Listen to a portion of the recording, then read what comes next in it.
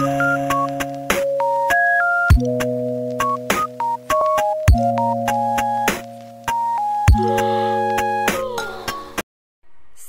pagi, jumpa kembali dengan saya Warina. Pada kali ini saya akan berbagi cara membuat avatar dengan aplikasi SuperMe. Pertama-tama mari kita buka aplikasi SuperMe. Kemudian kita pilih jenis kelaminnya. Langkah selanjutnya kita akan menentukan bentuk mukanya. Kemudian kita akan pilih model rambutnya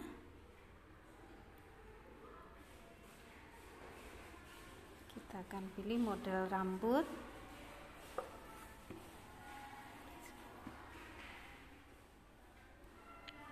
selanjutnya kita akan lihat bagian belakang rambut bagian kepala kemudian kita akan masuk ke bagian mata sementara mata kita hilangkan Demikian juga alis karena kita akan menggunakan animasi.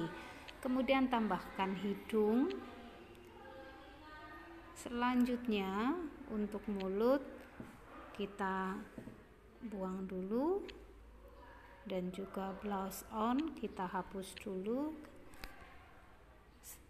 Langkah selanjutnya kita akan menyimpan dengan nama wajah tanpa mulut.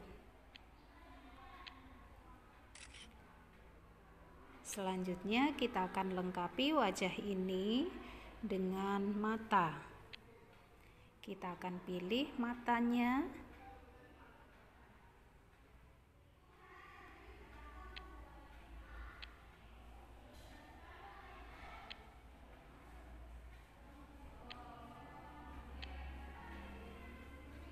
Mata bisa naik, kita naikkan dengan cara digeser. Kemudian kita tambahkan alis. Dan kita kasih nama. Kita beri nama dengan mata. Sebentar kita kita simpan dan beri nama mata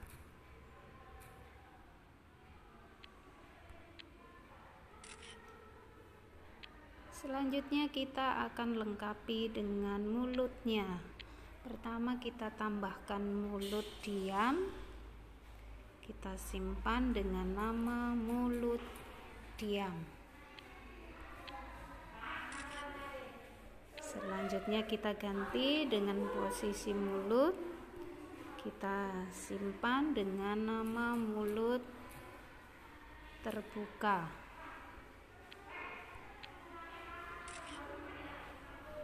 Selanjutnya kita akan cari jenis mulut. Bentuk O.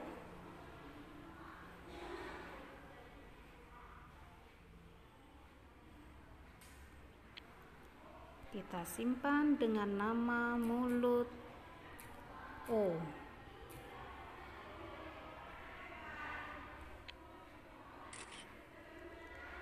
kemudian kita akan tambahkan jenis mulut berikutnya dan kita simpan dengan nama mulut teriak. Teriak.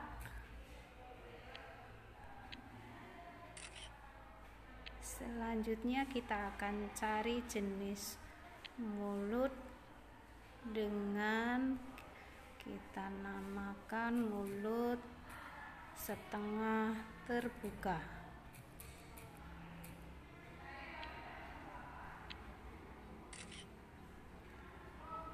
Kemudian kita akan pilih salah satu jenis mulut yang akan kita gunakan dan kita beri nama avatar.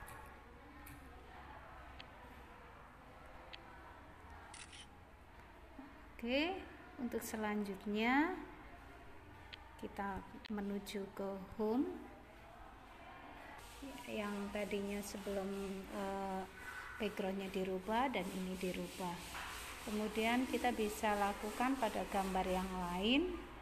Misalnya pada yang sedang mengucapkan oh kita edit dan kita berikan tanpa background no background.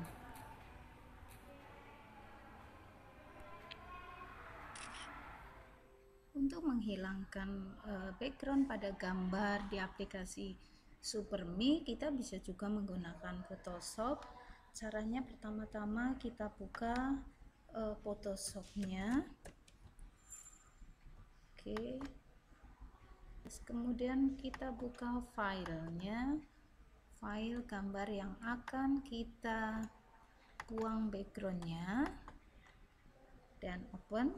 Nah ini gambarnya nah, kita akan uh, perbesar aja gambarnya.